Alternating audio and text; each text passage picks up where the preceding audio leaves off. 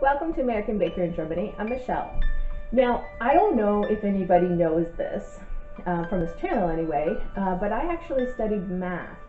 And I've seen a couple of math themed cakes in the past, and in general they are extremely simple. It's basically like high school math on it. But I wanted to up it a bit and make it into a college level math cake. So this is my college level math cake for people who actually do college level or more math. I have my master's degree in mathematics, and so I feel qualified to talk about this and to tell you what kind of things I would like on a cake for about math. So I thought that that might be helpful for other people who need to make one, who have who don't have quite as much background as I do. So let's get started. We're starting out with a frosted sheet cake. This is actually a half sheet cake instead of a quarter sheet cake because we're going to want a lot of space to draw on our formulas. This is also a cake that you could leave in the pan and only frost the top if you choose. I'm using these pre-packaged writing sugar gels, but I kind of regretted it because these aren't nearly as easy to use as they look. They take a lot of hand strength, so if I had it to do over again, I would have just colored some buttercream and put it in a piping bag with a small round tip. We're starting with my favorite formula, known as Fermat's last theorem. I studied algebraic number theory, so this is right up my alley and is really quite easy to understand, although it's rather advanced. The upside down a means for all, so for all n greater than 2, a to the n plus b to the n does not equal c to the n.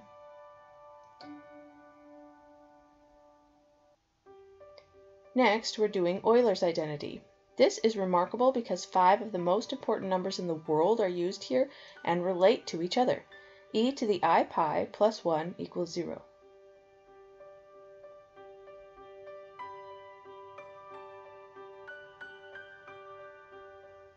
This one is called the Wallis product.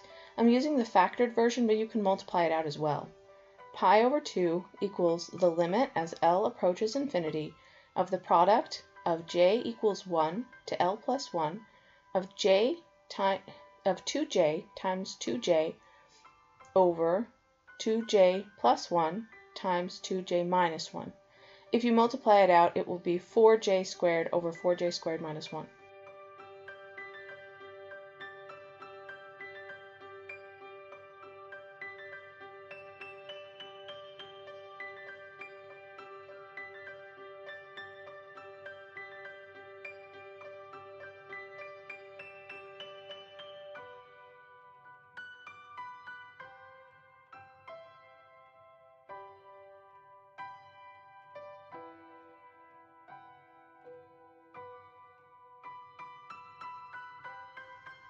This is one of the general characteristics of the exponential function. e to the x equals the sum of n equals 0 to infinity of x to the n over n factorial.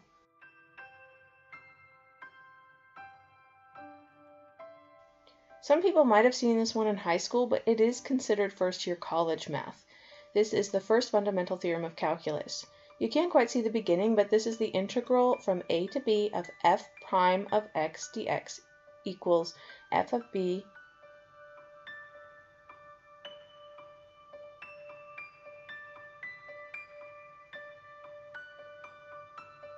minus f of a.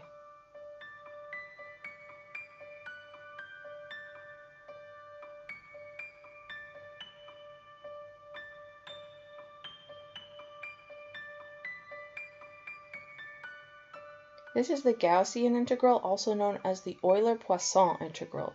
It is the integral from negative infinity to infinity of e to the minus x squared dx equals the square root of pi.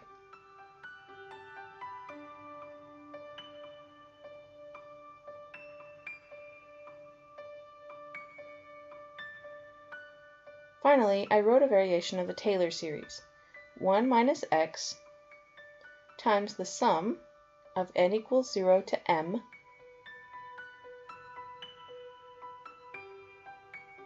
of x to the n equals 1 minus x to the n plus 1.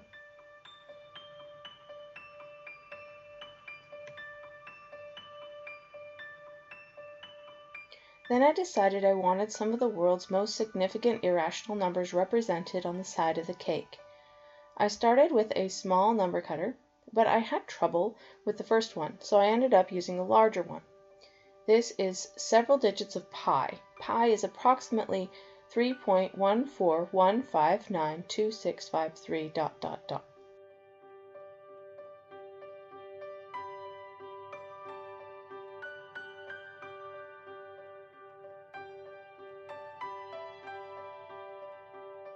My next number is E. E is approximately 2.718281828 dot dot dot.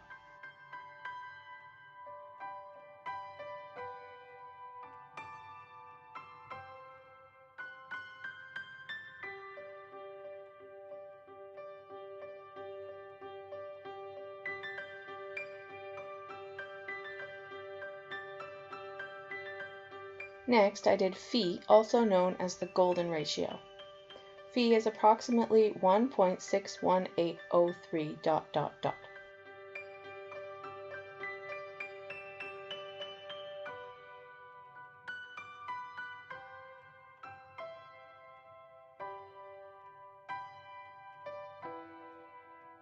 Finally, I did the square root of 2. The square root of 2 is approximately 1.4142 dot dot dot.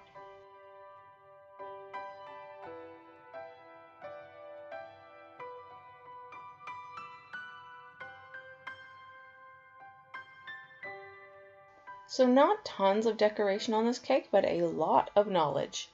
I think those who love mathematical knowledge would love a cake like this. They would especially appreciate anyone who went to the effort of researching which formulas are significant and still short enough to write on a cake.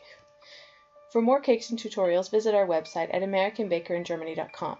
We're also on Facebook and Instagram. Subscribe for a new cake every week. Hit the notification bell to be the first to know when we upload a new video.